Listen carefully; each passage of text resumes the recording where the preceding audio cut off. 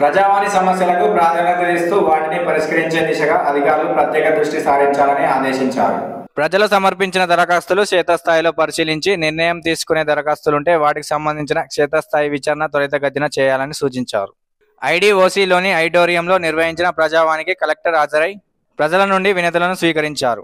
ప్రజావాణి కార్యక్రమానికి పలువురు జిల్లా స్థాయి అధికారులు సమయానికి హాజరు కాకపోవడాన్ని గమనించిన జిల్లా కలెక్టర్ హాజరు కాని అధికారులపై చర్యలు తీసుకుంటామని హెచ్చరించారు.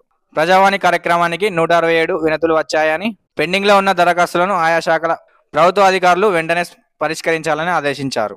ఈ కార్యక్రమంలో జిల్లా అధికారులు మండలాల నాయబ్ తహసీల్దార్లు ఎంపీఓలు తదితరులు పాల్గొన్నారు.